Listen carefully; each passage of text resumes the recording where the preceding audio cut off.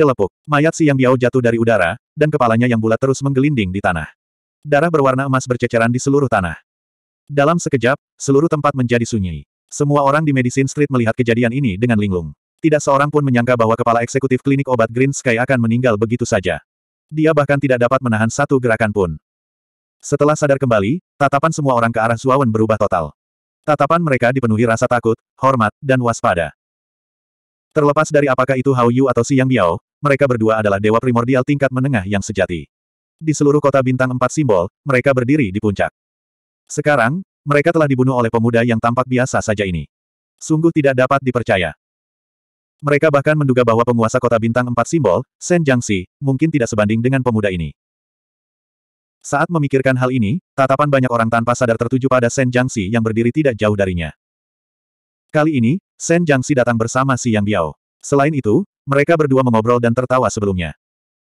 Namun, si Yang Biao telah meminta bantuan Shen Jiangxi, tetapi Shen Jiangxi mengabaikannya. Dia mungkin sangat waspada terhadap Zuawan dan tidak berani bergerak. Zuawan melambaikan tangan kanannya, dan kertas emas itu membelah udara dan melayang di sampingnya. Cahaya keemasan yang menyilaukan mendarat di tubuhnya, seolah-olah lapisan tipis daun emas telah melapisi tubuhnya. Kamu adalah penguasa kota bintang empat simbol. Baru pada saat itulah tatapan Zuawan tertuju pada Shen Jiangxi. Dia tentu saja telah mendengar dengan jelas perkataan si Yang Biao sebelumnya dan mengetahui identitas Shen Jiangxi.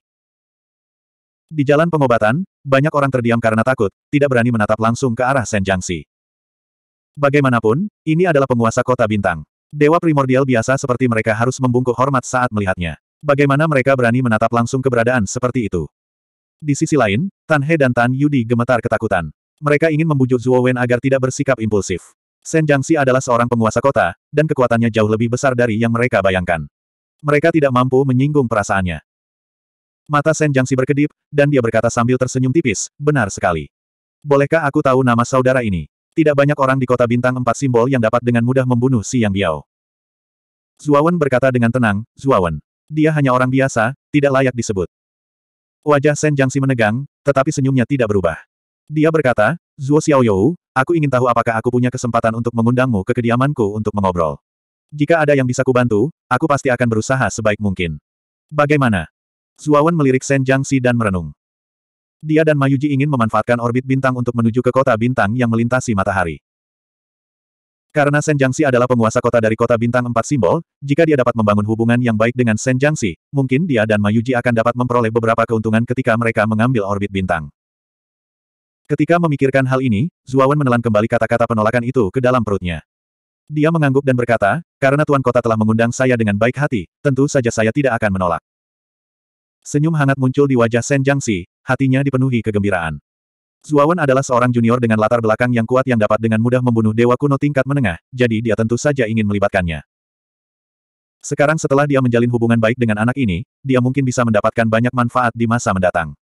Oh, Benar, Tuan Kota Sen. Ketiga orang ini adalah teman-temanku. Aku ingin tahu apakah mereka bisa masuk ke kediaman Tuan Kota bersamaku. Zuawan menunjuk ke arah Mayuji, Tan He, dan Tan Yudi di belakangnya. Sen Jiangxi tersenyum dan berkata, karena mereka adalah teman-teman Zuo Xiaoyou, tentu saja mereka bisa berkumpul. Ekspresi Mayuji tenang, sementara Tan He dan Tan Yudi begitu gembira hingga wajah mereka memerah. Mereka hanyalah orang-orang yang tidak penting di kota bintang empat simbol.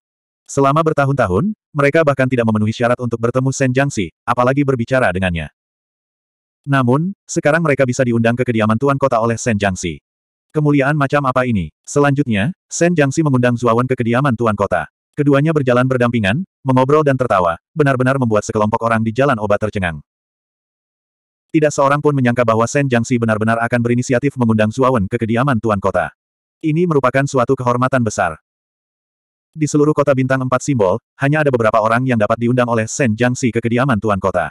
Mereka pada dasarnya adalah eksistensi yang berdiri di puncak kota bintang empat simbol. Mengapa Zuawan diundang oleh Sen Jiangxi dengan keramah tamahan yang begitu besar, mungkin karena Sen Jiangxi terpikat pada kekuatannya yang dahsyat. Tak lama kemudian rombongan itu tiba di kediaman Tuan Kota di kota bintang empat simbol.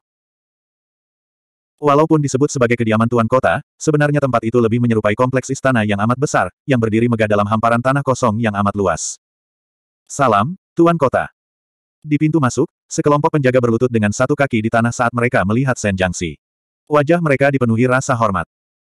Sen Jiangxi mengangguk pelan lalu memimpin Zuawan dan yang lainnya memasuki kediaman Tuan Kota dengan langkah lebar. Di ruang penerima tamu kediaman Tuanku Wali Kota. Aula itu dihias dengan mewah, megah, dan luar biasa. Di tengah aula, para penyanyi wanita anggun menari dengan anggun, memamerkan bentuk tubuh mereka yang sempurna. Sangat memanjakan mata. Sen Jiangxi duduk di ujung meja, sedangkan Zuo Wen duduk di bawahnya. Ma Yuji, Tan He, dan Tan Yudi duduk di bawahnya. Zuo Xiaoyou, biarkan aku bersulang untukmu. Sen Jiangxi mengangkat cangkir anggurnya dan bersulang untuk Zuawan dari jauh. Zuawan juga mengangkat gelas anggurnya untuk membalas roti panggang itu. Namun, dia tidak menghabiskannya dan hanya menyesapnya sedikit. Zuo Xiaoyou. Aku telah mengamati pertarunganmu dengan Si Yang Biao, dan aku menemukan bahwa sebagian besar kekuatanmu seharusnya berasal dari selembar kertas emas itu. Maafkan penglihatan saya yang buruk, tetapi saya benar-benar tidak dapat memastikan tingkat senjata astral pada kertas emas itu. Sen Jiangxi menghabiskan anggur di cangkirnya dalam sekali teguk dan mengamati Zuawan seraya bertanya penuh arti. Sebaliknya, Zuawan tidak terburu-buru.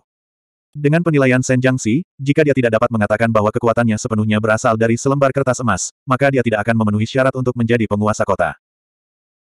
Tuan Kota Sen, Anda mungkin tidak tahu ini, tetapi saudara Ma dan saya baru saja kembali dari parit alam. Zuawan berkata sambil tersenyum. Parit alami. Mungkinkah kalian adalah prajurit yang menjaga parit alam itu? Sen Jiangxi bertanya dengan ragu. Bisa dibilang begitu. Terjadi perubahan besar pada parit alam, yang menyebabkan tewasnya banyak prajurit. Kami dipercayakan dengan tugas penting oleh Lord Zhensu untuk melarikan diri.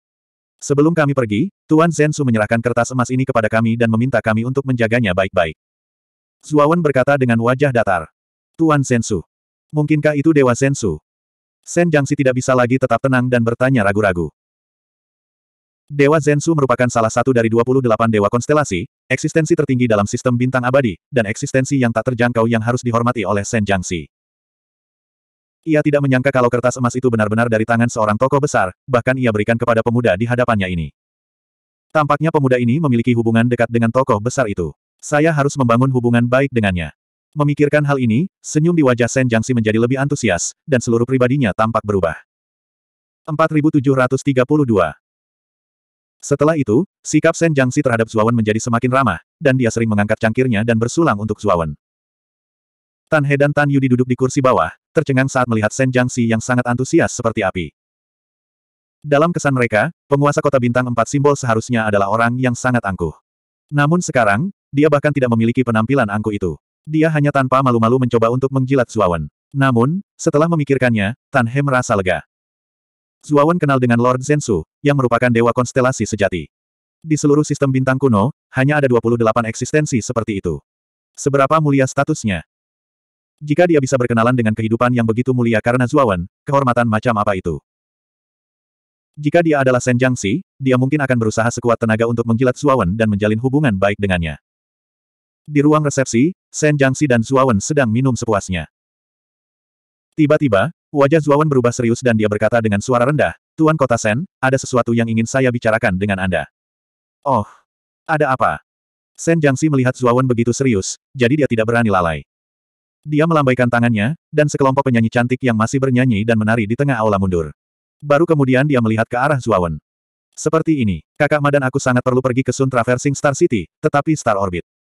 Zuawan memberitahu Sen Jiangxi tentang keinginannya meminjam Star Orbit, dan Sen Jiangxi pun mengangguk tanda mengerti. Ini hanya masalah kecil. Zuo Xiaoyou, jika kau ingin menggunakan orbit bintang, penguasa kota ini bisa segera membuka orbit bintang untukmu dan memindahkanmu ke kota bintang yang melintasi matahari. Sen Jiangxi berkata sambil tersenyum. Kalau begitu, terima kasih banyak, Tuan Kota Sen. Mata Zuawan menunjukkan kegembiraan. Dia tidak menyangka masalah ini akan diselesaikan dengan mudah. Aku penasaran kapan Zuo Xiaoyou akan menggunakan orbit bintang. Sen Jiangxi menatap Zuawan sambil tersenyum dan bertanya. Zuawan berpikir sejenak, lalu menatap Tan He dan Tan Yudi, dan berkata dengan suara rendah, saya belum membuat keputusan akhir tentang masalah ini. Saya harus kembali dan membuat keputusan. Saya akan memberi Anda jawaban setelah itu. Sudut mulut Sen Jiangxi terangkat sedikit dan berkata, tidak masalah. Zuo Xiaoyou dapat datang ke kediaman Tuan Kota kapan pun kamu mau. Selanjutnya, Zuawan dan Sen Jiangxi mengobrol santai. Mereka mengobrol cukup lama. Tentu saja, Sen Jiangxi yang lebih banyak bicara sementara Zuo Wen mendengarkan. Melalui percakapan ini, Sen Jiangxi dan penguasa kota bintang, ketika surga pertempuran, surga. Terutama ketika dia menyebutkan pertempuran di perbatasan parit surga, Sen Jiangxi mengerutkan kening. Jelas, situasi di parit surga tidak optimis. Semenjak Sadolesmo memanggil Dewa Iblis Sado dan hampir menghancurkan Heavenly Chasm, pertahanan Heavenly Chasm telah menurun drastis. Meskipun kota bintang suci telah mengirim dua dewa konstelasi untuk mengawasi situasi, pertempuran tidak mereda. Sebaliknya, situasi menjadi lebih serius. Susunan naga awan emas agung adalah penghalang terpenting bagi surga untuk melawan pasukan iblis surgawi. Setengahnya dihancurkan oleh dewa iblis terakhir kali, dan belum sepenuhnya diperbaiki. Jika dapat segera diperbaiki, situasi di garis depan akan stabil. Sekarang, itu masih menjadi bom waktu yang terus berdetak. Sen Jiangxi bersandar di kursi utama, wajahnya penuh kepahitan dan matanya penuh kekhawatiran. Kota bintang empat simbol adalah kota bintang yang paling dekat dengan parit surga. Jika parit surga benar-benar jebol, kota bintang empat simbol akan menanggung beban terberat dan menjadi yang pertama dihancurkan. Jika saat itu tiba, banyak sekali makhluk hidup tak berdosa di kota itu akan dibantai sampai tuntas. Zuawan juga terdiam. Meskipun dia tahu bahwa situasi Dewa Primordial sangat serius, dia tidak berdaya untuk melakukan apa pun. Dia terlalu lemah sekarang. Jika bukan karena kertas emas itu, dia bahkan tidak akan sebanding dengan Dewa Primordial biasa. Selanjutnya, Sen Jiangxi mengobrol dengan Zuawan sebentar sebelum Zuawan bangkit dan pergi. Tan He, Tan Yudi, dan Ma Yuji juga segera bangkit. Tuan Kota Sen, tidak perlu mengusirku. Sen Jiangxi mengantarnya sampai ke gerbang kota. Zuawan buru-buru menangkupkan tangannya dan membungkuk, memberitahu Sen Jiangxi agar tidak mengantarnya lagi. Baru pada saat itulah Sen Jiangxi menyadari bahwa dia sedikit kehilangan ketenangannya. Dia tersenyum dan berkata, Zuo Xiaoyou, jika ada kesempatan, datanglah ke istana tuan kota lebih sering. Kamu selalu diterima di sini. Sen Jiangxi menangkupkan tangannya ke arah Zuawan dengan hikmat saat ia berbicara. Dan pemandangan ini, di mata banyak penjaga di gerbang kota, benar-benar membuat mereka tercengang. Eksistensi macam apa Tuan Kota Sen Jiangxi itu? Dia adalah Tuan Kota dari Kota Bintang Empat Simbol. Di seluruh Kota Bintang, dia memiliki otoritas dan wewenang tertinggi. Sekarang, dia benar-benar menangkupkan kedua tangannya dan membungkuk kepada seorang pemuda yang tidak dikenalnya. Ini sungguh mengejutkan. Tetapi setelah para pengawal itu bereaksi, mereka semua menatap Zuawan dalam-dalam, ingin mengukir penampilan Zuawan sepenuhnya di dalam hati mereka. Kali berikutnya orang ini datang ke rumah Tuan Kota, mereka tidak ingin menyinggung orang ini karena mereka tidak mengenalinya. Tanpa terasa, Zuawan menjadi sosok penting di hati mereka yang sama sekali tidak bisa mereka provokasi. Tentu saja. Zuawan pun membalas salamku dan menuntun Ma Yuji, Tan He, dan Tan Yudi keluar dari istana Tuan Kota tanpa menoleh ke belakang. Sepanjang jalan, Zuawan, Tan He, dan yang lainnya semuanya terdiam. Bahkan Tan Yudi yang biasanya lincah juga menundukkan kepalanya dan tidak mengatakan sepatah kata pun. Tiba-tiba, Tan Yudi mengangkat kepalanya dan menatap punggung Zuawan di depannya. Dia berkata, Kakak Zuo, apakah kamu benar-benar akan pergi? Zuawan menghentikan langkahnya lalu menoleh untuk melihat anak laki-laki kecil di depannya. Dia bisa melihat keengganan dan keluhan di mata anak kecil itu. Dia ragu sejenak dan berkata, ada musuh. Semua hal baik pasti akan berakhir. Aku akan pergi pada akhirnya, tetapi tidak sekarang. Mendengar ini, keluhan di mata Tan Yudi berkurang banyak. Dia berkata, Kakak Zuo, apakah maksudmu kau akan tinggal di kota bintang empat simbol lebih lama? Iya, aku masih punya kerja sama dengan Medicinal Square milik klan Tanmu. Kakak Ma dan aku baru akan pergi setelah kerja sama ini berakhir. Kalau tidak, bukankah kita akan mengingkari janji kita? Zuawan berkata sambil tersenyum tipis. Air mata Tan Yudi berubah menjadi senyuman. Setelah periode interaksi ini, tanpa terasa ia telah mengembangkan rasa ketergantungan pada Zuawan. Ia sama sekali tidak ingin Zuawan pergi. Zuo Xiaoyou, jika kamu tinggal, apakah itu akan menunda urusanmu? Mata Tan He berkedip dan dia berkata dengan agak malu. Bagaimanapun, dia telah hidup selama bertahun-tahun. Bagaimana mungkin dia tidak melihat bahwa Zuawan telah bekerja sama dengannya untuk memurnikan pil agar dapat memperoleh lebih banyak batu dewa sehingga dia dapat menggunakan orbit bintang untuk pergi ke Sun Traversing Star City. Sekarang, Zuawan sudah memiliki hak untuk menggunakan orbit bintang sesuka hati berkat Sen Jiangxi. Dia sama sekali tidak perlu bekerja sama dengan Medicinal Square milik Kelantan. Ini hanya membuang-buang waktu. Tidak akan tertunda. Tidak banyak perbedaan antara kita di Four Symbol Star City dan Sun Traversing Star City. Kita berdua bisa berkultivasi. Zuawan melambaikan tangannya. Dia memang tidak terburu-buru untuk pergi ke Sun Traversing Star City. Kultivasinya terlalu lemah. Jika dia diberi waktu untuk berkultivasi, dia seharusnya dapat dengan cepat memasuki alam dewa primordial biasa. Energi kota bintang primordial sangat kuat. Selain itu, ia juga mengolah teknik primordial-primordial. Kemajuan kultivasinya pasti tidak akan lambat. Dia sangat jelas bahwa hanya dengan kekuatan yang cukup dia akan memiliki kemungkinan melindungi 100 wilayah di luar dunia. 4733 Sejak Zuawan membunuh Yang Biao dan Hao Yu, dan menghancurkan klinik obat langit hijau, seluruh jalan obat tidak lagi berani meremehkan klinik obat Kelantan. Di jalan pengobatan, tidak ada seorang pun yang tidak tahu bahwa Zuawan ada di klinik pengobatan Kelantan. Orang ini sangat kuat, dan bahkan penguasa kota memperlakukannya dengan sangat hormat. Dia benar-benar orang penting. Oleh karena itu, banyak sekali toko obat di jalan obat pada dasarnya tidak berani lagi memprovokasi klinik obat Kelantan.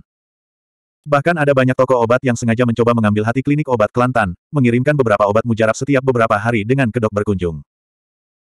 Tentu saja, Tan He juga tahu bahwa pemilik toko obat ini tidak melakukan ini karena menghormati klinik obat Kelantan, tetapi sepenuhnya karena Zuawan. Sekarang, Zuawan telah benar-benar membuat nama untuk dirinya sendiri di kota bintang empat simbol setelah menyebabkan keributan di klinik obat langit hijau. Tak hanya jalan pengobatan, banyak pasukan di kota bintang empat simbol juga mengirimkan perwakilannya untuk berkunjung.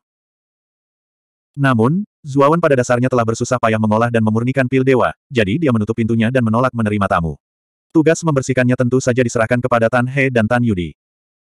Terlebih lagi, berita tentang pil dewa yang disempurnakan Zuawan semakin tersebar luas.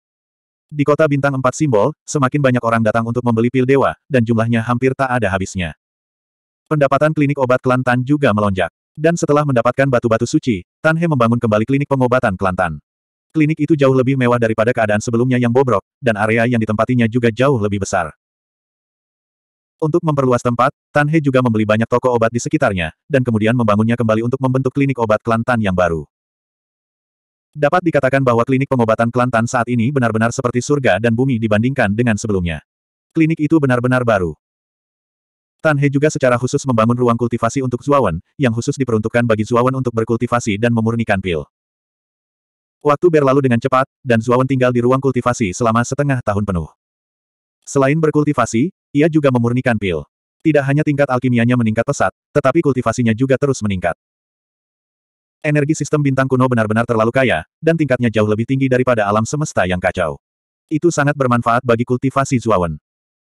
Dengan bantuan mantra agung primordial, kecepatan kultivasi Zuawan menjadi sangat cepat. Kultivasinya menembus alam hukum surgawi, dan mencapai alam hukum surgawi. Meskipun ranah kultivasi Zuawan masih di ranah penggabungan 10.000 teknik, ia telah mengolah teknik kabut agung primordial. Auranya sangat kuat, dan ia tidak lebih lemah dari dewa primordial biasa. Zuawan yakin bahwa dengan kekuatannya saat ini, ia dapat melawan beberapa dewa primordial biasa yang lebih lemah. Tentu saja, akan sulit baginya untuk menang kecuali ia berhasil menembus ranah Dao tanpa awal. Sudah waktunya. Zuawan perlahan berdiri dari ruang kultivasi dan membuka pintu. Di luar pintu, Ma Yuji dan si anak singa sedang bermain. Saudara Zuo, kamu baru saja keluar dari pengasingan. Ma Yuji menggendong anak singa itu dan menatap Zuawan yang sedang berjalan keluar dari ruang kultivasi. Ia mengamati Zuawan dari atas ke bawah dan tersenyum. Sepertinya kamu telah memperoleh banyak hal dalam enam bulan terakhir kultivasi. Zuawan juga menatap langsung ke arah Mayuji, tetapi dia bingung. Kultivasinya telah meningkat, tetapi dia masih belum bisa melihat kelemahan kultivasi Mayuji. Dari awal hingga akhir, kultivasi Mayuji selalu menjadi misteri di matanya. Memikirkan hal ini, Zuawan tiba-tiba membuka mulutnya dan berkata, Kakak Ma, apa tingkat kultivasi Anda? Mayuji tertegun, lalu tersenyum dan berkata, hampir sama denganmu. Zuawan mengangkat bahu. Dia tahu bahwa ini adalah alasan Mayuji, jadi dia tidak bertanya lagi. Meskipun penampilan Mayuji biasanya sangat lemah, Zuo Wen tahu bahwa orang ini jelas tidak sederhana. Terlebih lagi, dia masih ingat bahwa Dewa Konstelasi memandang Mayuji dengan tatapan yang sangat berbeda. Mungkin Mayuji melihat sesuatu. Akan tetapi, Dewa Konstelasi tidak mengatakan apa pun, yang membuat Zuawan bingung. Saudara Zuo, setelah kamu keluar dari pengasingan kali ini, sudah waktunya untuk pergi, kan? Ma Yuji berkata sambil tersenyum. Zuawan mengangguk dan berkata, ya, saatnya pergi. Saya tak sabar untuk melihat apa yang ditinggalkan Dewa Konstelasi Senior untuk kita di Sun Crossing Star City. Ayo pergi. Mari kita ucapkan selamat tinggal pada Tantua dan yang lainnya. Ma Yuji tersenyum tipis, menggendong anak singa itu, dan menuntun Zuawan melewati koridor besar menuju meja depan apotek Tan. Zuo Wen memandang sekelilingnya dan hatinya agak tersentuh. Tampaknya dalam enam bulan terakhir, apotek Tan telah berkembang sangat pesat. Setelah renovasi, apotek Tan menjadi sangat megah. Tidak kalah dengan apotek King Kiao di masa lalu. Setelah melangkah ke meja depan, Zuo Wen menemukan bahwa ada lebih banyak orang di alun-alun pengobatan Kelantan. Ada penilai khusus, resepsionis khusus, dan banyak petugas dan pelayan. Dapat dikatakan bahwa alun-alun pengobatan Kelantan sedang berkembang pesat. Perbedaan antara ini dan apotek Tan yang bobrok dan hendak tutup sungguh terlalu besar. Saudara Zuo, kamu baru saja keluar dari pengasingan. Tiba-tiba di depan konter, seorang anak kecil berlari menghampiri dan berkata dengan penuh semangat. Begitu dia mengatakan itu, seluruh konter menjadi sunyi. Kemudian, semua orang di aula menatap Zuawan. Mata semua orang dipenuhi dengan gairah dan kekaguman. Apakah dia Tuan Zuo? Dia masih sangat muda. Aku tidak menyangka dia begitu kuat. Dia bahkan menghancurkan apotek King Kiao. Hehe, saya mendengar bahwa gubernur kota juga sangat sopan kepadanya. Dan istana gubernur kota menyambutnya kapan saja. Ini adalah kehormatan tertinggi. Semua orang di aula membicarakan tentang Zuo Wen. Bahkan ada beberapa wanita muda yang menatap Zuo Wen dengan penuh kasih sayang dengan mata indah mereka. Sayangnya, Zuo Wen mengabaikan banyak tatapan di aula. Sebaliknya, dia menatap Tan Yudi dan bertanya, Yudi, di mana Tan Tua? Oh, kakek pergi keluar untuk membicarakan bisnis. Dia akan kembali sebentar lagi. Tan Yudi berkata sambil tersenyum. Zuawan mengangguk dan berkata, kalau begitu, saudara Ma dan aku akan menunggu Tan Tua. Kami masih punya sesuatu untuk dikatakan kepadanya. Mata Tan Yudi berkedip-kedip seolah-olah dia telah memikirkan sesuatu. Ada kilatan kekecewaan di matanya. Bao, Er, kemarilah. Bawa saudara Zuo dan saudara Ma ke ruang teh. Tan Yudi segera menyembunyikan kekecewaan di matanya dan berteriak ke depan aula. Tuan muda Yudi, saya paham. Di depan aula, seorang gadis muda dengan penampilan polos dan polos berjalan santai. Dia berjalan di depan Zuo Wen dan Ma Yuji, dan membungkuk dengan anggun. Kalian berdua, silakan ikut Bauer. Wanita muda itu berkata sambil tersenyum. Zuo Wen mengangguk dan mengikuti Bauer bersama Ma Yuji. Mereka berjalan melewati aula dan menuju ruang teh di aula samping. Ruang minum teh itu cukup besar dan didekorasi dengan gaya antik. Ada toples-toples berisi daun teh yang berharga di lemari-lemari di sekitarnya. Setelah Bauer mempersilakan mereka berdua untuk duduk, tangan rampingnya dengan cekatan mulai menyeduh teh di hadapan mereka. Harus dikatakan bahwa keterampilan Bauer dalam membuat teh memang sangat bagus. Meskipun Zuawan tidak begitu mengerti tentang teh, ia merasa bahwa gerakan Bauer sangat halus dan sangat bagus. Ziyu berdiri di samping Mayuji dan menatap Bauer tanpa berkedip. Matanya penuh rasa ingin tahu. Kalian berdua, silahkan menikmati. Bauer menyeduh dua cangkir teh dan menyerahkannya kepada Zuowen dan Mayuji. Dia tersenyum manis, tetapi matanya yang indah terus-menerus mengamati Zuo Wen, dan matanya dipenuhi dengan rasa ingin tahu dan ketertarikan.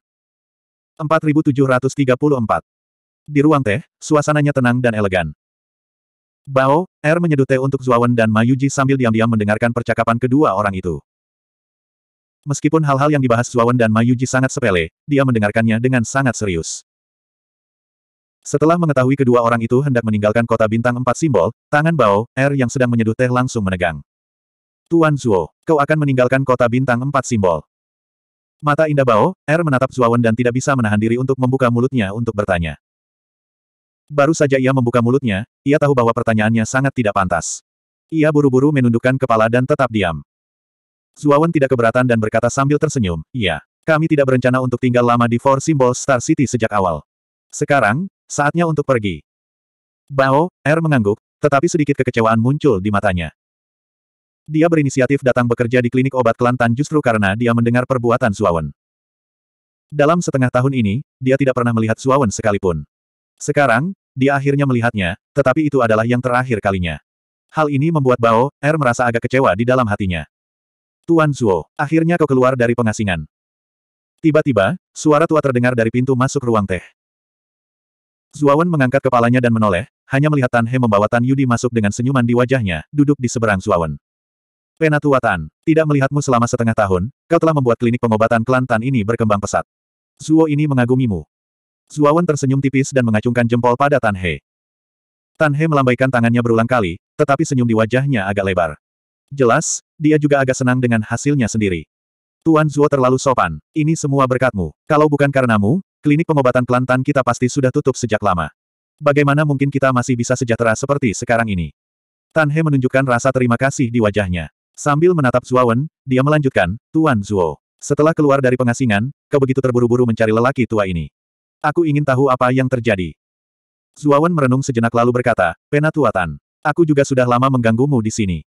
Hari ini, aku keluar dari pengasingan dan bersiap meninggalkan kota bintang empat simbol bersama saudara Ma dan menuju ke kota bintang melintasi matahari. Mendengar ini, wajah Tan He menegang. Meskipun dia memiliki beberapa tebakan samar di dalam hatinya, mendengar Zuawan mengatakannya tetap membuatnya merasa sangat tidak nyaman. Tan Yudi menundukkan kepalanya dan mengusap matanya yang memerah. Dia tidak ingin Zuawan dan yang lainnya melihat penampilannya yang menyedihkan. Tuan Zuo, apakah Anda yakin sudah membuat keputusan? Tan He terdiam sejenak sebelum bertanya lagi. Iya. Karena itulah, saudara Ma dan aku mengajukan pengunduran diri dan langsung pergi ke istana Tuan Kota nanti. Zuawan berkata dengan tegas. Tan He mengangguk dan berdiri. Ia membungkuk dalam-dalam kepada Zuawan dan berkata, Tuan Zuawan, terima kasih telah merawatku selama enam bulan terakhir. Jika bukan karenamu, bengkel obat Kelantan kita pasti sudah diambang kehancuran. Bahkan musuhku pun akan terancam kehilangan nyawa mereka. Tapi kau menyelamatkan kami dan membantu kami menghidupkan kembali Medicinal Square milik Kelantan. Terimalah busur dari orang tua ini. Sambil berbicara, Tan He berlutut di tanah dan membungkuk dalam-dalam kepada Zuawan. Tan Yudi juga berlutut dengan cepat dan bersujud dengan berat kepada Zuawan. Dia tidak dapat menahan air mata di matanya dan air mata itu mengalir di wajahnya. Penatua Tan, Yudi, cepat bangun. Zuawan melangkah maju dan segera membantu mereka berdua berdiri. Ia berkata, kalian tidak perlu melakukan ini. Kita akan memiliki kesempatan untuk bertemu lagi di masa mendatang. Aku akan kembali ke kota bintang empat simbol setelah aku menyelesaikan masalah di kota bintang melintasi matahari. Tan He dan Tan Yudi berdiri dan tersenyum. Kalau begitu, kita tunggu kabar baik dari Tuan Zuo. Suasana hati Tan Yudi juga membaik. Dia menyentuh matanya dan kekecewaan di matanya pun memudar. Oh benar, tetua Tan, kami berencana untuk menitipkan Kup Yu padamu. Kakak Ma dan aku akan pergi ke Sun Traversing Star City. Kami mungkin akan menghadapi beberapa bahaya, jadi, Ma Yuji tiba-tiba berkata sambil menggendong Kup Yu. Dia telah membicarakan masalah ini dengan Zuawan sejak lama. Bagaimanapun, Kup Yu masih muda dan telah kehilangan orang tuanya. Tidaklah tepat baginya untuk mengikuti mereka. Menginap di apotek Tan Klan adalah pilihan terbaik. Mata Kup Yu sedikit merah. Meskipun sudah tahu tentang keputusan Ma Yuji dan Zuawan, ia masih sangat enggan berpisah pada menit terakhir. Namun, Kup Yu patuh dan memahami niat baik Zuawan dan Ma Yuji. Ia tidak menangis atau membuat keributan. Ia hanya memeluk Ma Yuji dengan erat. Anak Yu, tetaplah di apotek Tan Klan dan bersikaplah baik, oke? Okay. Jangan mengamuk. Ma Yuji dengan lembut menepuk Kup Yu dan tersenyum. Mata Kup Yu memerah saat dia memeluk Ma Yuji dengan erat dan mengangguk pelan. Kakak Ma, jangan khawatir, aku akan merawat Kup Yu dengan baik. Serahkan padaku. Tan Yudi berjalan keluar, menepuk dadanya dan berkata dengan bangga. Ma Yuji memutar matanya dan berkata, karena kamu di sini, aku jadi khawatir. Tan Yudi melengkungkan bibirnya dan berkata dengan tidak senang, kakak Ma. Kamu tidak percaya padaku. Baguslah kalau kamu tahu. Ma Yuji mengangkat bahu dan menatap Tan He. Penatua Tan, aku serahkan Kup Yu padamu. Tan He terkekeh dan berkata, jangan khawatir, Tuan Ma. Aku tidak akan mengecewakanmu. Aku akan menjaga Kup Yu dengan baik. Ma Yuji mengangguk dan menyerahkan Kup Yu kepada Tan He. Kami pamit dulu. Selamat tinggal. Zuawan dan Ma Yuji menangkupkan tangan mereka ke arah kerumunan dan meninggalkan apotek Kelantan. Tan He menggendong Kup Yu dan mengantar Zuawan dan Ma Yuji ke pintu masuk jalan obat bersama Tan Yudi dan yang lainnya. Dia memperhatikan mereka berdua berjalan pergi. Kakek, apakah mereka pergi begitu saja? Tan Yudi berkata dengan linglung. Tan He menyentuh kepala Tan Yudi dan mendesah pelan. Iya, tapi kita akan bertemu lagi. Zuawan dan Ma Yuji berjalan melalui jalan utama dan tiba di gerbang rumah tuan kota. Di pintu masuk, beberapa penjaga hendak mencaci maki Zuo Wen dan Ma Yuji ketika mereka melihat mereka. Namun, mereka langsung menutup mulut ketika melihat mereka berdua. Mereka telah melihat kedua orang ini setengah tahun yang lalu. Saat itu, Tuan Kota secara pribadi membawa mereka ke rumah Tuan Kota. Tuan-tuan, apakah Anda ke sini untuk menemui Tuan Kota? Seorang penjaga bergegas berjalan mendekat dengan senyum menyanjung di wajahnya. Iya, bolehkah saya tahu apakah Tuan Kota Sen ada di sini? Zuawan bertanya dengan tenang. Iya, saya akan masuk dan melapor. Mohon tunggu sebentar. Kata penjaga itu dengan sopan lalu berlari memasuki rumah Tuan Kota. Setelah beberapa saat, Tuan Kota Sen Jiangxi secara pribadi keluar dengan senyuman di wajahnya. Zuo Xiaoyou, kau benar-benar membuatku menunggu lama. Kau pergi selama setengah tahun dan tidak pernah datang ke kediaman Tuan Kota. Kamu tidak bersikap baik. Sen Jiangxi berjalan mendekat sambil tersenyum. Meskipun dia mengeluh, ekspresinya sangat gembira. Tuan Kota Sen, tolong jangan salahkan saya. Aku telah berkultivasi selama setengah tahun terakhir, jadi aku tidak punya waktu untuk datang dan mengganggumu. Zuawan berkata dengan sopan. Tidak apa-apa, aku sudah sangat senang bahwa kalian berdua datang ke rumah Tuan Kota dan mengingatku sebagai teman. Silakan masuk. Sen Jiangxi tersenyum dan mengundang Zuawan dan Ma Yuji ke rumah Tuan Kota. 4735. Tuan Kota Sen, agaknya, Anda juga seharusnya sudah bisa menebak alasan mengapa kami berdua memberanikan diri datang ke sini, bukan?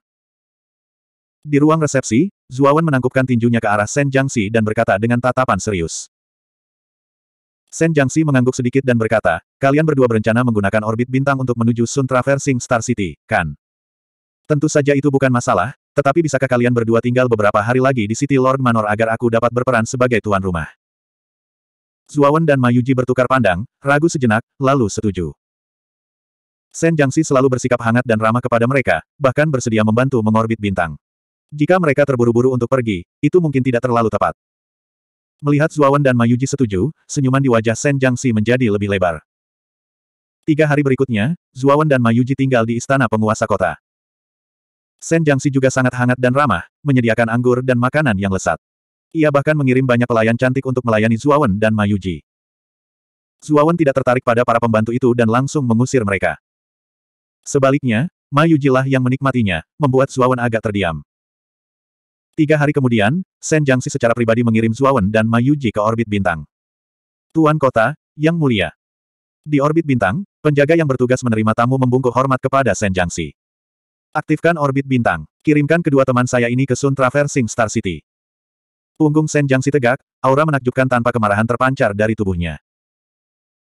Penjaga orbit bintang buru-buru menyetujui, mengamati Zuawan dan Ma Yuji dengan rasa ingin tahu, matanya dipenuhi rasa ingin tahu dan rasa hormat.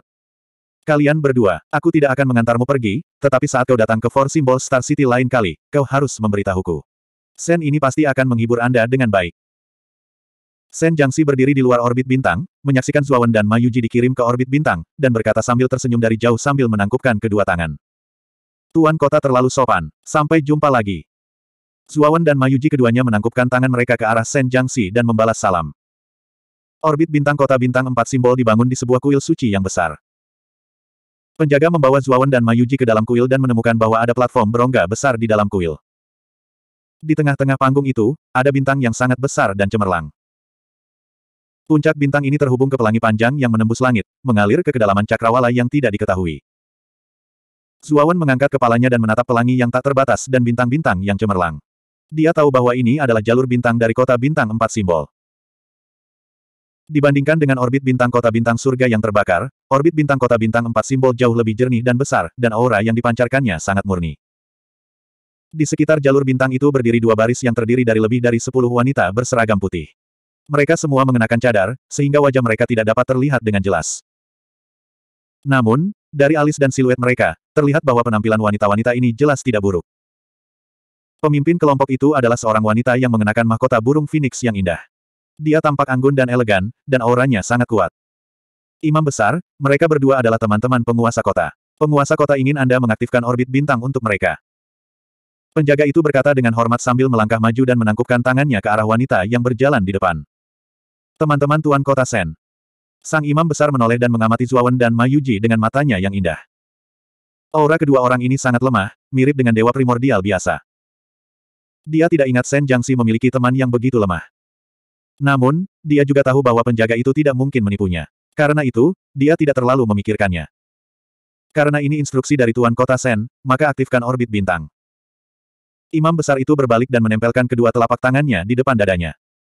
Dua baris wanita dengan cadar yang menutupi wajah mereka juga mengikuti imam besar dan menempelkan kedua telapak tangan mereka. Mereka berlutut di tanah dan menggumamkan sesuatu. Tidak lama kemudian, cahaya putih berkilauan muncul dari High Priestess dan yang lainnya. Cahaya itu membubung ke langit dan menghantam bintang. Bintang yang awalnya cemerlang itu tiba-tiba memancar keluar dengan cahaya yang terang benderang dan menyala-nyala, seolah-olah dirangsang oleh semacam kekuatan tertentu pada saat itu juga. KKK. Cahaya putih tak berujung melesat keluar dari bintang yang cemerlang itu dan memercik ke bawah, membentuk tangga putih besar. Di ujung tangga itu terdapat bintang besar yang tergantung di langit di atasnya. Kalian berdua, orbit bintang telah diaktifkan. Silakan masuk ke orbit bintang. Kata pendeta tinggi dengan tenang sambil menunjuk ke arah Zuawan dan Mayuji. Terima kasih banyak. Zuawan menangkupkan tangannya ke arah pendeta tinggi dan melangkah menaiki tangga bersama Mayuji.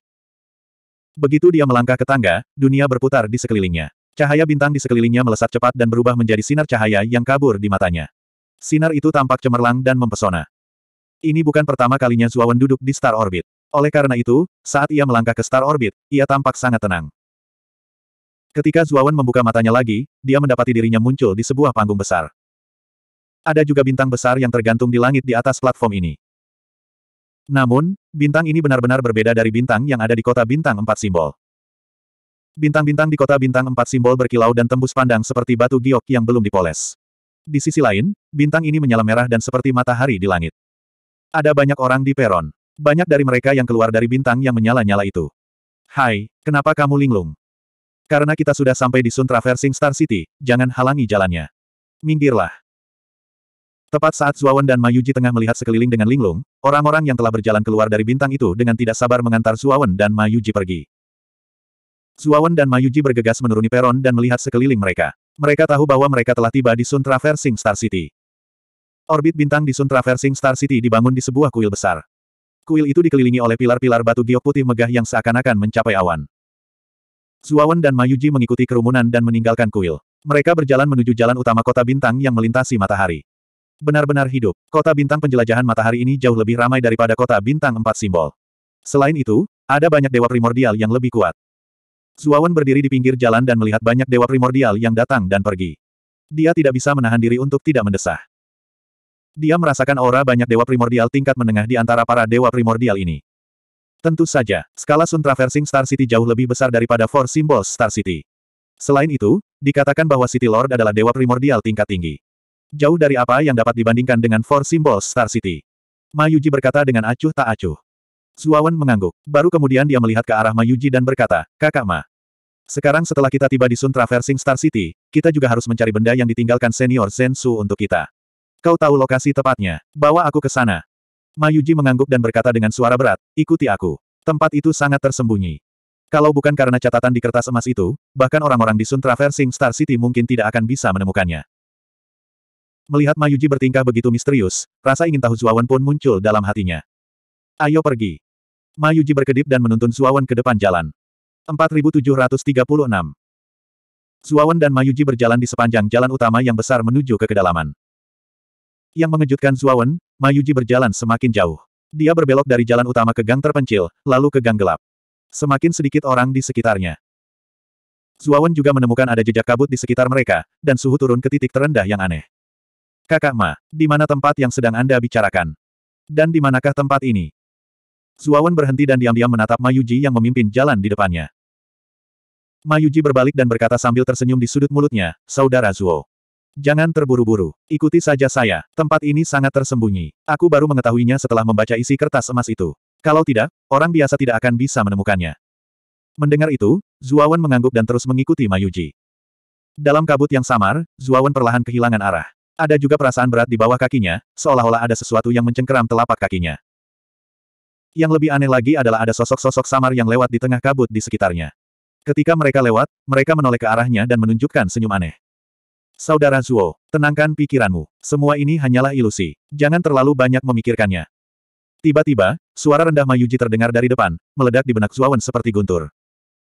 Tiba-tiba, Zuawan yang sedikit pusing langsung terbangun. Ia melihat ke sekelilingnya lagi dan mendapati bahwa tidak ada sosok di kabut di sekitarnya. Ada banyak rumput liar di bawah kakinya, yang menghalanginya untuk melangkah maju. Anehnya, rumput liar ini bentuknya seperti pohon palem. Kalau tidak diperhatikan dengan saksama, bentuknya seperti banyak pohon palem yang menjulur dari tanah dan menyapu dengan lembut, menghalangi langkah kaki Zuawan. Kakak Ma, apakah kita hampir sampai? Zuawan menatap rumput liar itu dan merasakan hawa dingin di hatinya. Dia segera menyusul Mayuji di depannya dan bertanya dengan suara rendah. Kita sampai. Mayuji menghentikan langkahnya dan perlahan berbalik, memperlihatkan wajah berdarah. Daging di wajah Mayuji telah terkelupas seluruhnya, hanya menyisakan tulang-tulang berdarah di wajahnya. Tetesan darah terus mengalir keluar dan menetes ke tanah. Kelihatannya aneh sekali. Pupil mata Zuawan mengecil hingga seukuran jarum, dan dia tak dapat menahan diri untuk mundur beberapa langkah. Saudara Zuo, apa yang salah denganmu? Saya Mayuji, kenapa kamu kelihatan aneh sekali? Apakah ada sesuatu di wajahku? Ma Yuji menampakkan senyum aneh dan mendekati Zuawan selangkah demi selangkah. Ia mengangkat tangannya dan hendak meraih Zuawan. Zuawan ingin mundur, tetapi dia mendapati suatu kekuatan mengerikan menyapu dari belakang, mendorongnya lebih dekat ke Ma Yuji. Akhirnya, Zuawan tiba di depan Ma Yuji. Ma Yuji mengulurkan tangannya dan mencengkeram leher Zuawan. Saudara Zuo, tidak baik bagimu untuk menghindariku seperti ini. Aku akan sangat sedih. Air mata darah mengalir dari mata kosong Ma Yuji. Kekuatan tangannya yang mencekik leher Zuawan meningkat. Zuawan ingin melawan, tetapi dia merasa tidak ada yang bisa dia lakukan. Ada kekuatan yang tidak dapat dijelaskan yang memenjarakan tangannya, tidak memungkinkan dia untuk melawan sama sekali. Brengsek, apa yang sedang terjadi? Hati Zuawan mencelos. Kekuatan yang tak dapat dijelaskan ini terlalu kuat, memberinya perasaan bahwa ia tidak dapat melawan. Pikiran Zuawan berkomunikasi dengan kertas emas itu. Tiba-tiba, cahaya kemasan keluar dari tubuhnya dan hinggap di tubuh Mayuji. Tiba-tiba, Mayuji yang ada di depannya terpotong-potong. Kertas emas itu terbang melintasi langit, dan semua yang ada di sekitarnya terpotong-potong. Seluruh kabut dipenuhi cahaya kemasan, dan tampak kemasan dan menyilaukan. Sangat cemerlang dan kuat. Kertas emas itu terbang lurus ke langit, menghilangkan kabut aneh di sekitarnya. Tiba-tiba, pandangan di sekitarnya menjadi jauh lebih jelas. Pada saat yang sama, Zuawan tiba-tiba membuka matanya. Ia mendapati Mayuji yang ada di depannya telah berhenti di suatu titik. Matanya tertutup rapat, dan ada ekspresi kesakitan di wajahnya. Kabut tebal dan aneh di sekitarnya juga berangsur-angsur menghilang. Baru saat itulah Zuo Wen menyadari bahwa dia berada di gang yang sangat sempit.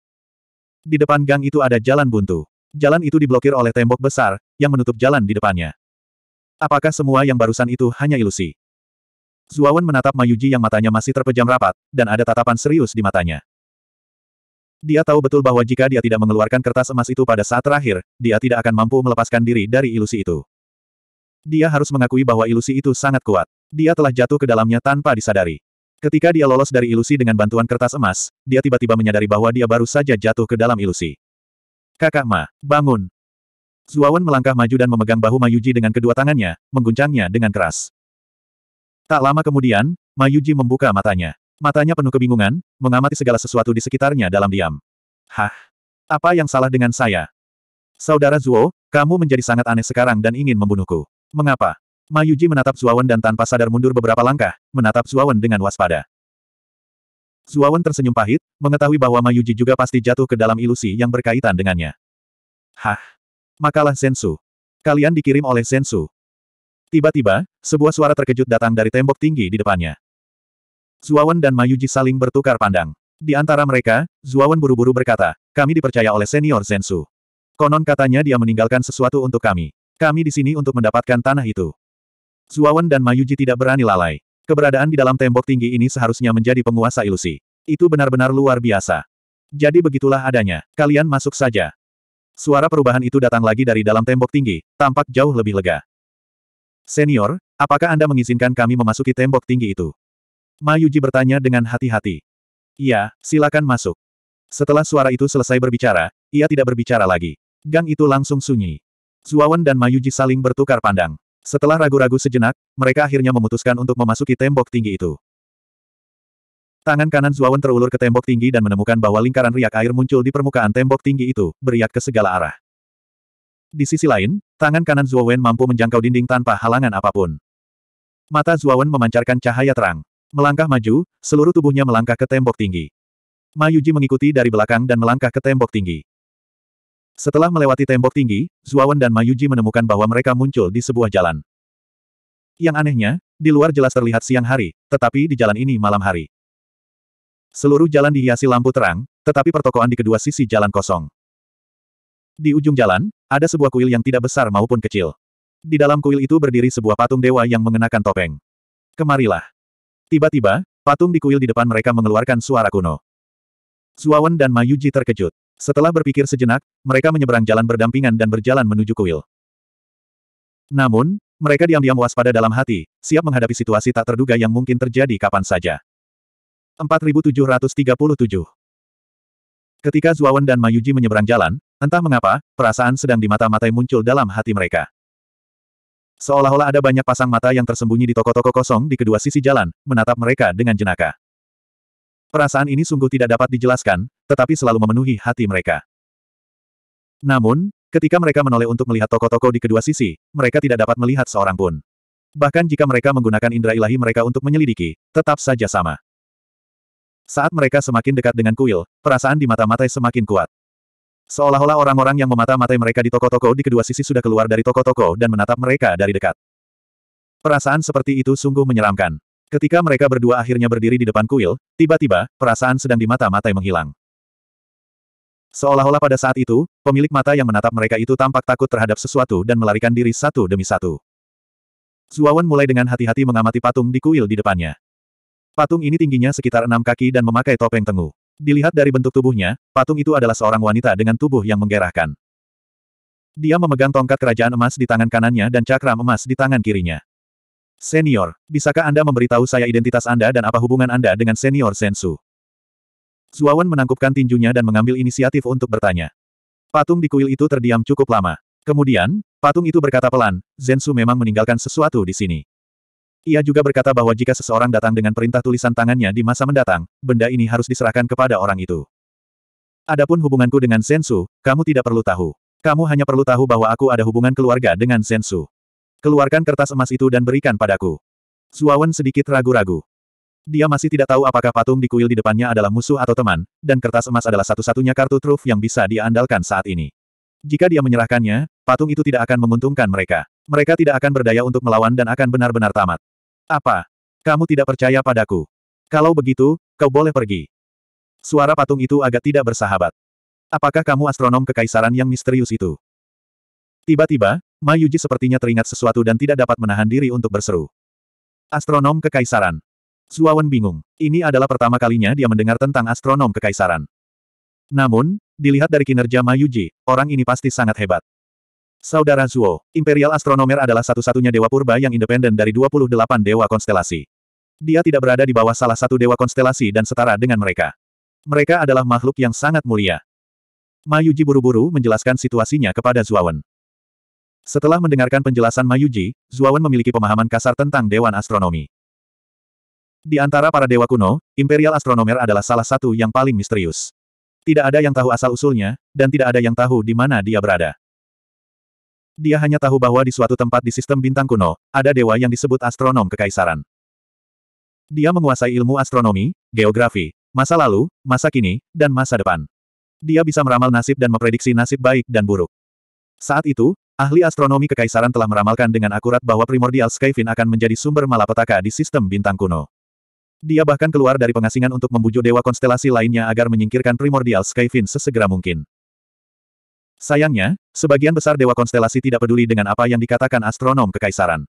Beberapa bahkan berbicara buruk tentang astronom kekaisaran. Pada akhirnya, astronom kekaisaran sangat marah sehingga dia mengasingkan diri dan tidak lagi peduli tentang apa pun di sistem bintang kuno. Ketika Primordial Skyfin telah dewasa sepenuhnya dan menyebabkan malapetaka di sistem bintang kuno, ia telah sepenuhnya menekan para dewa kuno. Banyak dewa konstelasi menyesal tidak mendengarkan astronom kekaisaran dan mulai mencari astronom kekaisaran. Sayangnya, astronom kekaisaran sengaja menghindari dewa konstelasi. Pada akhirnya, dewa konstelasi tidak dapat menemukan jejak astronom kekaisaran bahkan setelah mencari selama bertahun-tahun. Astronom kekaisaran, saya tadi bersikap kasar. Zuawan menangkupkan tinjunya ke arah patung itu. Dia mengeluarkan kertas emas dan menyerahkannya ke kuil suci tanpa ragu-ragu. Zuawan sangat mempercayai Ma Yuji. Dia tahu bahwa Mayuji tidak akan berbohong kepadanya karena itu tidak akan menguntungkan Mayuji sama sekali. Lebih seperti itu. Suara sengau samar terdengar dari patung itu. Tak lama kemudian, cahaya merah menyala keluar dari kuil suci. Cahaya merah ini tidak berwarna merah darah. Warnanya lebih seperti emas murni. Ada jejak emas di warna merahnya. Setelah itu, Zuawan melihat lapisan tipis daun emas jatuh dari permukaan patung di kuil dewa. Kemudian, patung itu mengulurkan tangan kanannya dan mengambil kertas emas di kuil dewa. Terutama sepasang mata bening di balik topeng patung itu. Mata itu menjadi hidup dan berkilau seperti kristal. Ahli astronomi kekaisaran mengambil kertas emas itu dan mengamatinya dengan saksama. Kemudian, dia membalik kertas emas itu dan mengamatinya lagi dengan saksama. Zuawan dan Mayuji saling memandang. Mereka berdua memiliki beberapa keraguan di hati mereka. Mereka hanya melihat tulisan di bagian depan kertas emas itu, tetapi tidak di bagian belakangnya. Tidak ada apa-apa sama sekali di situ. Namun, ahli astronomi kekaisaran melihatnya dengan penuh minat. Mungkinkah ada beberapa kata yang tersembunyi di balik kertas emas itu? Hanya saja mereka tidak dapat menemukannya. Setelah astronom kekaisaran selesai melihat kertas emas itu, dia dengan santai melemparkannya ke Zuawan dan berkata, saya sudah mengerti arti Zensu. Aku sungguh tidak menyangka kalian berdua adalah dua orang yang ada dalam ramalan itu. Itu sungguh buruk. Selagi dia berbicara, astronom kekaisaran terus mengamati Zuawan dan Mayuji dengan tatapan aneh di matanya. Hem, Tuan astronom kekaisaran, ramalan apa tentang kedua orang itu? Ma Yuji bertanya dengan ragu. Mari kita masuk ke gua saya dulu. Ini bukan tempat untuk bicara. Begitu kita masuk, aku akan bercerita lebih banyak. Sang astronom kekaisaran melambaikan lengan bajunya, dan pusaran emas murni muncul di kuil ilahi. Pusaran itu berputar perlahan, dan kedalaman pusaran itu tampak tak berujung. Cepat, silakan masuk. Tiba-tiba, ekspresi sang astronom kekaisaran berubah. Ia melihat ke toko-toko di kedua sisi jalan dan tak dapat menahan diri untuk tidak mendesak mereka. Meskipun Zuawan dan Mayuji tidak tahu apa yang sedang terjadi, mereka tidak berani menunda dan buru-buru memasuki pusaran emas. Saat mereka memasuki pusaran emas, Zuawan mengikuti garis pandang astronom kekaisaran dan melihat ke toko-toko di kedua sisi jalan. Yang mengejutkannya, toko-toko di kedua sisi jalan yang awalnya kosong kini dipenuhi orang. Yang lebih aneh lagi adalah orang-orang di toko itu bukanlah orang biasa. Mereka semua adalah makhluk aneh. Ada yang bertanduk banteng, ada yang bersisik, ada yang hitam pekat seperti lumpur, dan ada yang berkepala naga dan bertubuh manusia. Yang membuat kulit kepala Zuawan mati rasa adalah makhluk-makhluk aneh ini semua menatap kuil suci dengan mata terbelalak. Mereka tampak menatap dingin ke arah Zuawan, dan sudut mulut mereka melengkung membentuk senyum aneh. Adegan itu membeku. Penglihatan Zuawan berubah dan dia menghilang dari kuil suci. 4738 Ketika Zuawan membuka matanya lagi, dia mendapati dirinya berdiri di sebuah ruangan yang didekorasi dengan gaya kuno.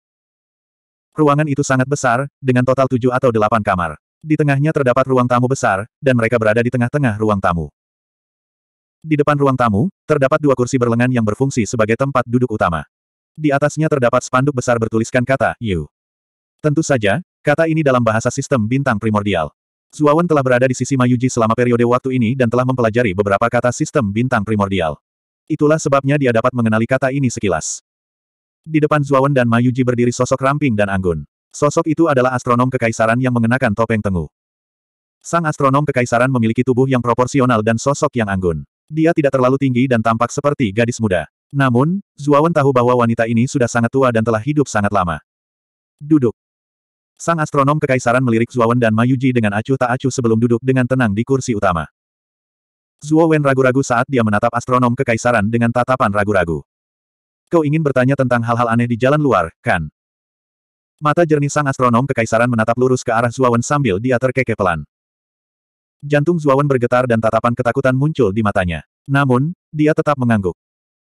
Makhluk-makhluk aneh yang tiba-tiba muncul di pertokoan kedua sisi jalan itu memang menggelitik rasa ingin tahunya.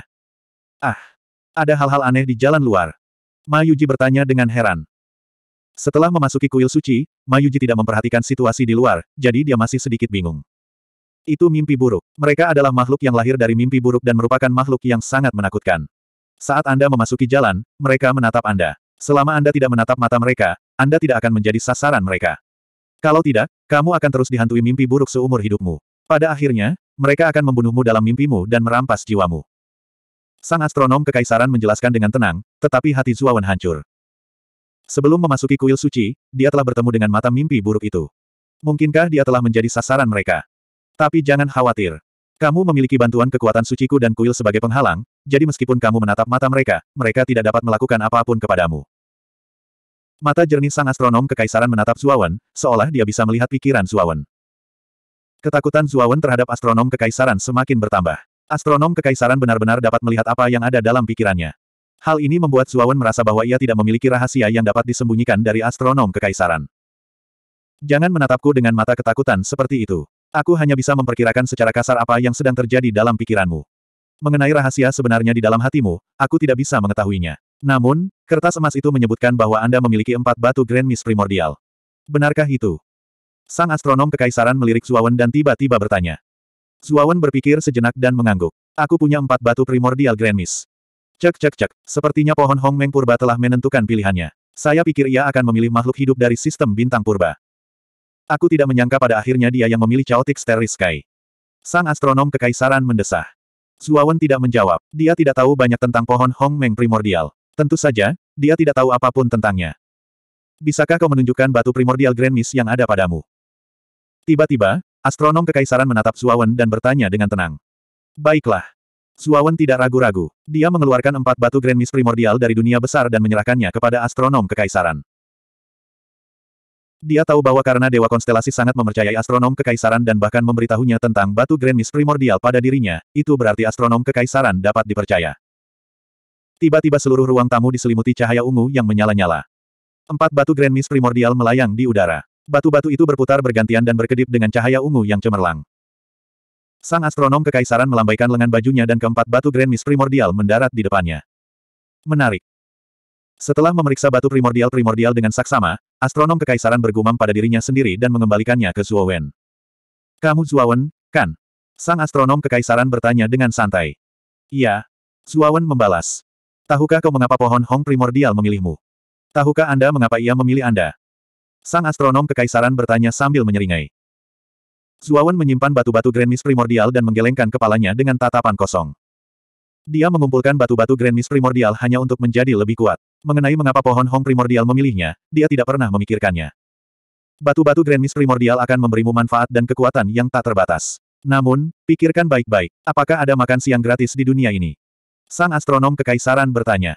Zuawan terdiam, ia pernah memikirkan hal ini sebelumnya. Proses pengumpulan batu primordial Grand Miss berjalan sangat lancar. Selain itu, ia telah memperoleh banyak manfaat dari batu primordial Grand Miss. Namun, ia tidak perlu membayar apa pun sebagai imbalannya. Dia sudah lama bertanya-tanya apakah itu harga yang harus dia bayar atau apakah ini waktu yang tepat.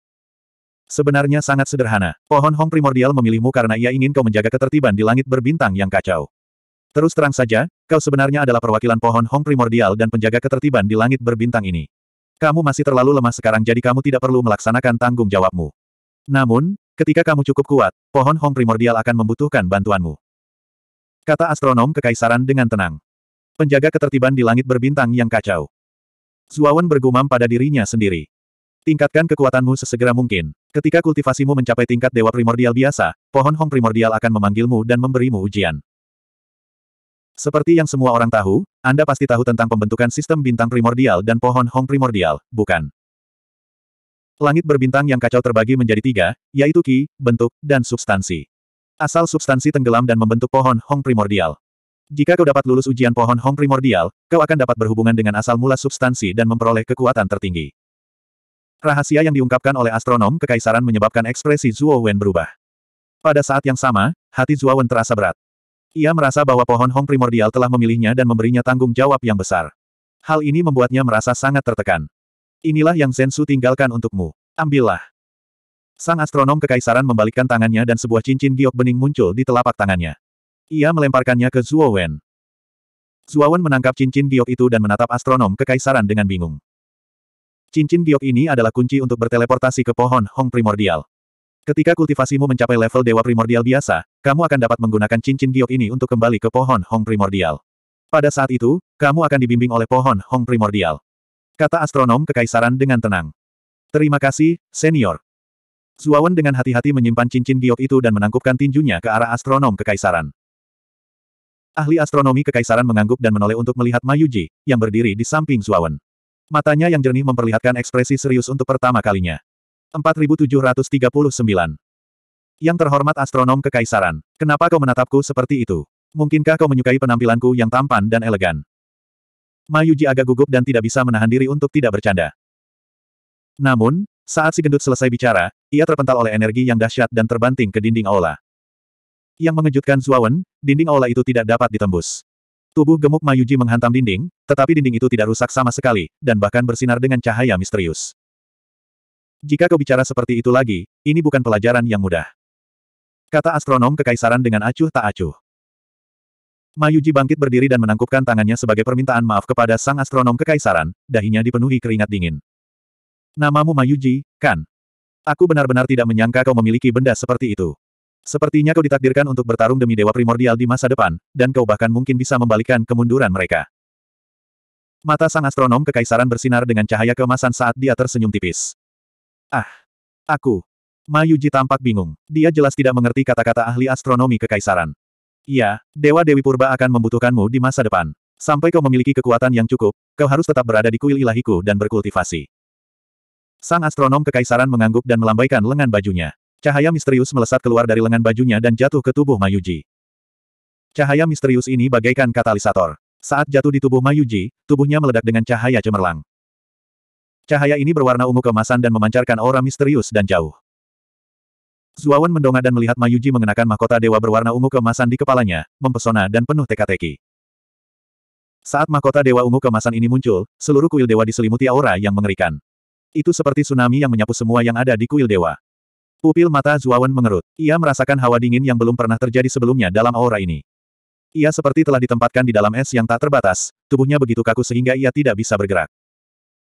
Jika seseorang menyerangnya saat ini, Zuawan tidak akan mampu melawan sama sekali. Apa sebenarnya benda ini? Zuawan menatap mahkota Dewa Emas Ungu di kepala Mayuji dengan ketakutan. Wajahnya berubah sangat jelek. Pada saat ini, keempat batu primordial-primordial di tubuh Zuawan mengeluarkan suara berdenting. Kemudian, mereka terbang keluar satu demi satu dan melayang di atas kepalanya. Mereka perlahan berputar, mengedarkan cahaya ungu yang misterius dan cemerlang. Di bawah perlindungan batu primordial-primordial, Zuawan perlahan-lahan mendapatkan kembali kemampuan untuk bergerak. Dia menatap Mayuji, yang diselimuti cahaya ungu kemasan, dengan ketakutan di matanya. Di sisi lain, sang astronom kekaisaran diselimuti oleh lapisan cahaya berwarna-warni. Matanya yang jernih dan indah menatap lurus ke arah mahkota ilahi ungu emas di kepala Mayuji. Dia tertawa keras dan bergumam pada dirinya sendiri, ini benar-benar benda ini. Anda akhirnya di sini. Seiring berlalunya waktu, cahaya ungu emas itu berangsur-angsur surut, dan mahkota Dewa Ungu Emas yang melayang di atas kepala Mayuji juga berangsur-angsur menghilang. Mayuji kembali normal. Ia membuka matanya dan melihat sekeliling dengan bingung. Sambil berkedip, ia bertanya, apa yang terjadi tadi? Mengapa saya merasa seperti bermimpi? Mimpi yang sangat, sangat panjang dan tampaknya tidak ada habisnya. Zuawan menatap Mayuji dan menyadari bahwa mahkota Dewa Emas Ungu di kepalanya telah menghilang. Seolah-olah apa yang dilihatnya tadi hanyalah ilusi. Tatapan mata sang astronom kekaisaran menjadi jauh lebih lembut. Dia menatap Mayuji dan berkata sambil tersenyum, anakku. Itu bukan mimpi. Itulah memori kehidupanmu sebelumnya. Meskipun sekarang kamu masih sangat lemah, potensimu tidak terbatas. Di masa depan, Anda akan mampu melampaui belenggu Dewa Konstelasi dan menjadi Raja Dewa. Zuawan tercengang. Dia dengan hati-hati memikirkan kata-kata astronom kekaisaran, dan sebuah pemikiran yang sangat berani muncul di benaknya. Apakah astronom kekaisaran mencoba mengatakan bahwa Mayuji akan menjadi Raja Dewa Primordial di masa depan dan memimpin para Dewa Primordial untuk mengalahkan setan ilahi primordial? Tidak heran jika ahli astronomi kekaisaran berkata bahwa Mayuji akan berjuang demi dewa primordial. Di masa depan, dia bahkan mungkin dapat membalikkan kemunduran dewa primordial. Ah! Raja Dewa Primordial. Astronom kekaisaran, apakah Anda bercanda? Mayuji menolak untuk mempercayainya. Terserah Anda untuk percaya atau tidak. Ini adalah takdirmu, dan kamu tidak bisa menghindarinya. Kultivasimu jauh lebih tinggi daripada Zuawan. Jika kau ingin terus meningkatkan kultivasimu, kau harus memasuki alam mistik khusus. Ada banyak alam mistik di kuil suciku, dan aku telah memilih banyak untuk kau kultivasikan. Situasi para dewa primordial tidak lagi optimis. Sebaiknya kau menjadi lebih kuat sesegera mungkin. Kemudian, jika kau berhasil berintegrasi dengan sumber bentuk sistem bintang primordial, kau dapat dengan mantap naik ke posisi Raja Dewa Primordial. Kemudian, para dewa primordial akan memiliki keyakinan untuk melawan setan ilahi primordial. Sang astronom kekaisaran menatap Mayuji dengan ekspresi serius, membuat Mayuji merasa sangat tidak nyaman. Kakak Ma, saya pikir Imperial Astronomer mungkin benar. Mungkin Anda memang memiliki latar belakang yang luar biasa. Apa yang terjadi padamu tadi sungguh aneh. Bahkan ada mahkota dewa berwarna ungu emas di kepalamu. Aura mahkota dewa ungu emas itu tidak lebih lemah dari batu primordial-primordial. Itu jelas merupakan benda yang luar biasa. Zuawan juga berbicara. Mendengar ini, Ma Yuji menampakkan ekspresi berpikir yang mendalam. Sebenarnya dia sudah lama menyadari bahwa dirinya luar biasa, tetapi dia tidak terlalu memperhatikannya. Terutama setelah kematiannya, jiwa ilahi dan tubuh fisiknya telah mengalami semacam perubahan. Dia sendiri tidak begitu jelas tentang perubahan ini, tetapi itu jelas merupakan suatu perubahan. Akan tetapi, dia tidak menyangka astronom kekaisaran akan memberinya penilaian setinggi itu dan mengira bahwa dia bisa menjadi Raja Dewa Primordial. Itulah Raja para Dewa Purba yang sebenarnya. Sejak lahirnya sistem bintang primordial, tidak pernah ada Raja Dewa Primordial. Selama bertahun-tahun yang tak terhitung jumlahnya, banyak dewa primordial ingin memperebutkan posisi ini, tetapi tidak ada yang memenuhi syarat. Sekarang, ahli astronomi kekaisaran benar-benar mengatakan bahwa dia bisa menjadi raja dewa primordial. Bagaimana mungkin dia tidak terkejut? Ma Yuji. Kalian harus ingat bahwa kekuatan sejati raja dewa primordial bukanlah kekuatannya yang besar, tetapi otoritas ilahi tertinggi di tangannya. Otoritas ilahi memiliki hak untuk membunuh dan merampas nyawa para dewa. Itu adalah sesuatu yang tidak dapat dilakukan dengan kekuatan. Kamu memiliki mahkota Dewa Ungu Emas, yang berarti kamu sudah memiliki tingkat otoritas ilahi tertentu. Sekarang, yang kurang darimu adalah kekuatan besar untuk mengendalikan otoritas ilahi ini dengan benar. Tatapan sang astronom kekaisaran amat serius. Ma Yuji tidak sepenuhnya mengerti. Dia benar-benar tidak tahu banyak tentang apa yang disebut Raja Dewa Primordial ini dan tidak mengerti sama sekali. Namun, dia juga mengerti bahwa sepertinya beban Dewa Primordial akan jatuh di pundaknya. Ini membuatnya merasa sedikit tertekan. Tuan Astronom Kekaisaran, kalau memang benar seperti yang kamu katakan, aku pasti tidak akan menolaknya. Mayuji menangkupkan kedua tangannya ke arah astronom kekaisaran dan berkata dengan sungguh-sungguh, ini menyangkut hidup dan mati sistem bintang primordial. Aku tidak akan mundur. Sang astronom kekaisaran memandang Mayuji dan tak dapat menahan diri untuk mengangguk diam-diam. 4740. Kalian berdua terlalu lemah. Kalian harus segera meningkatkan kekuatan kalian. Jika tidak, Anda tidak akan memiliki hak untuk berhubungan dengan energi asal yang sesuai. Astronom kekaisaran duduk di kursi utama. Matanya yang jernih menunjukkan sedikit keseriusan untuk pertama kalinya. Mayuji dan Zuawan saling memandang, lalu mengangkat kepala untuk melihat ke arah ahli astronomi kekaisaran. Mereka tentu ingin meningkatkan kekuatan mereka sesegera mungkin, tetapi jika mereka berkultivasi selangkah demi selangkah, itu akan memakan waktu lama. Aku telah memilih alam rahasia yang sesuai untuk kalian berdua. Selain itu, aliran waktu di alam rahasia ini jauh lebih lambat daripada dunia luar. Jadi, Anda dapat masuk dan berlatih pada saat yang sama. Kata astronom kekaisaran dengan tenang. Mayuji bertanya dengan heran, Tuan astronom kekaisaran. Kita masih harus memasuki alam rahasia untuk berlatih. Astronom kekaisaran berkata dengan tenang, tahukah Anda negara bagian mana yang terbaik untuk ditembus secepat mungkin? Mayuji berpikir sejenak, lalu berkata dengan suara rendah, saatnya hidup dan mati. Hanya dengan demikianlah Anda dapat mencapai pencerahan dan terobosan dengan cepat. Iya, Jadi, tempat yang kupilih untuk kalian berdua sangat berbahaya, tapi tidak akan melebihi kekuatanmu. Setelah memasuki alam rahasia, aku tidak akan memberikan bantuan apa pun kepada kalian berdua. Semuanya akan bergantung pada kalian berdua. Setelah astronom kekaisaran selesai berbicara, dia melambaikan lengan bajunya, dan dua siklon muncul di aula. Kedua siklon itu memiliki warna yang sangat berbeda. Yang satu berwarna ungu keemasan, dan yang lainnya berwarna merah tua. Zuawan, kau memasuki siklon emas merah. Ma Yuji, kau memasuki siklon ungu emas. Kata astronom kekaisaran dengan tenang. Zuawan dan Ma Yuji saling memandang dan mengangguk dengan sungguh-sungguh. Kakak Ma, hati-hati. Saudara Zuo, kamu juga harus berhati-hati. Keduanya berpamitan satu sama lain dan melangkah ke dalam dua siklon itu masing-masing. Ketika mereka berdua menghilang ke dalam topan, hanya astronom kekaisaran yang tertinggal di aula. Saya sungguh menantikannya. Aku tidak menyangka kedua anak yang dinubuatkan itu akan datang seperti yang dijanjikan. Orang tua Zensu itu benar. Aku telah berbuat salah padanya. Sang astronom kekaisaran tertawa pelan, tetapi senyumnya pahit. Ia melanjutkan, aku ingin tahu di mana anak ketiga yang dinubuatkan itu. Dari hasil ramalan, anak nubuat ketiga seharusnya berada di langit berbintang yang kacau. Setelah beberapa saat pusing, Zuawan membuka matanya lagi. Ia mendapati bahwa pemandangan di sekelilingnya telah berubah total. Ia tidak lagi berada di aula kuno kuil, tetapi di lautan darah yang tak terbatas. Dia berdiri di sebuah pulau kecil yang luasnya tidak lebih dari 30 meter. Yang membuat Zuawan semakin terkejut adalah lautan darah di sekitar pulau itu seperti air mendidih, terus-menerus mendidih. Bau darah yang menyengat terus-menerus meresap ke udara dan naik ke udara, memancarkan bau yang tidak sedap. Zuawan mengerutkan kening. Dia merasakan kegelisahan yang kuat di lautan darah ini. Meskipun sekeliling lautan darah tampak setenang air, dia bisa merasakan adanya semacam bahaya aneh di dalam lautan darah itu. Dia tidak berani lengah sama sekali. Astaga! Tiba-tiba, beberapa ribu kaki jauhnya dari pulau itu, bayangan merah darah keluar dari permukaan laut darah, melonjak beberapa ratus kaki tingginya. Baru sekarang Zuawan melihat wujud sebenarnya dari bayangan merah darah ini. Ternyata itu adalah monster berkepala manusia dan bertubuh ikan. Ikan berkepala manusia ini berukuran sekitar 70 hingga 80 kaki, permukaannya ditutupi sisik berwarna merah darah. Di punggungnya terdapat duri-duri tajam berwarna merah darah, dan seluruh tubuhnya memancarkan aura buas. Hal ini terutama berlaku pada kepala manusianya. Dari jauh, kepala itu benar-benar tampak seperti kepala manusia, tetapi setelah diamati lebih dekat, orang akan menemukan bahwa kepala manusia ini sangat ganas. Separuh wajahnya telah berubah menjadi tengkorak, sementara separuh lainnya ditutupi sisik berwarna merah darah. Saat ikan berkepala manusia ini melompat, matanya yang ganas menatap lurus ke arah Zuo Wen. Sudut mulut ikan berkepala manusia itu bahkan memperlihatkan sedikit senyum yang kejam dan aneh, yang sangat mengerikan. Memercikkan, ikan berkepala manusia itu sekali lagi menyelam ke lautan darah. Dalam sekejap, seluruh lautan darah menjadi tenang, menjadi sunyi dan tenang, seolah-olah ikan berkepala manusia itu tidak pernah muncul. Namun Zuawan tidak berani lengah, karena dia melihat tatapan mata ikan berkepala manusia yang kejam dan haus darah. Hualala. Benar saja, tak lama kemudian, gelombang tiba-tiba muncul dari lautan darah di depan Zuo Wen, melesat ke arahnya dengan kecepatan tinggi. Seolah-olah ada sesuatu yang melesat ke arahnya dengan kecepatan tinggi.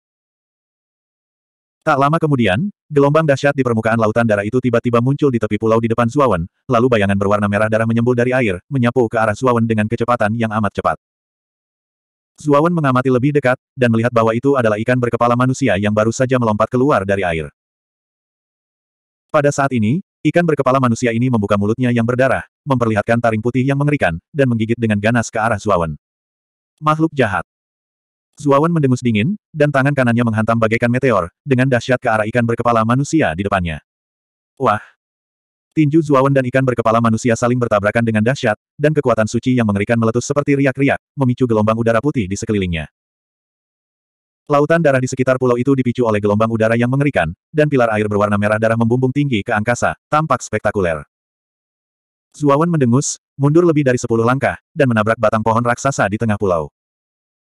Di sisi lain, ikan berkepala manusia itu terlempar sejauh 30 meter akibat pukulan Zuowen.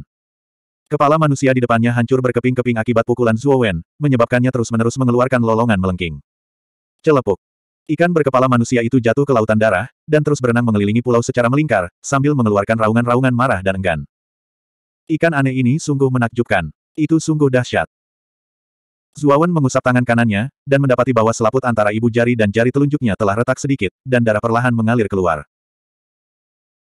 Tubuh fisiknya saat ini sudah sangat kuat, namun ikan berkepala manusia ini ternyata mampu melukainya dalam tabrakan langsung. Hal ini menunjukkan bahwa ikan berkepala manusia ini juga tidak sederhana.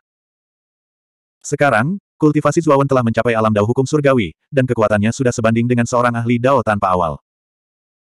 Namun ikan berkepala manusia ini mampu melukainya, jadi jelaslah tidak jauh dari dao tanpa awal. Harus dikatakan bahwa visi astronom kekaisaran memang sangat unik, dan lawan yang ditemuinya di alam rahasia sebenarnya tidak lebih lemah darinya, memaksanya untuk terus menjadi lebih kuat agar dapat keluar dari alam rahasia ini. Mengaum. Sebelum Zuawan bisa bereaksi, ikan berkepala manusia itu melancarkan serangan lain, melompat dari pulau di belakang, dan seluruh tubuhnya melingkar, membentuk cincin, dan mulai berputar cepat, jatuh ke arah Zuawan di bawah. Jika diperhatikan dengan seksama, duri-duri pada punggung ikan berkepala manusia itu membentuk sebuah lingkaran, membentuk cincin duri yang sangat menyeramkan, memancarkan kilauan tajam yang menakutkan. Zuawan bahkan tidak berpikir, dan melepaskan niat pedang jiwa sucinya, dan dengan ganas menebas.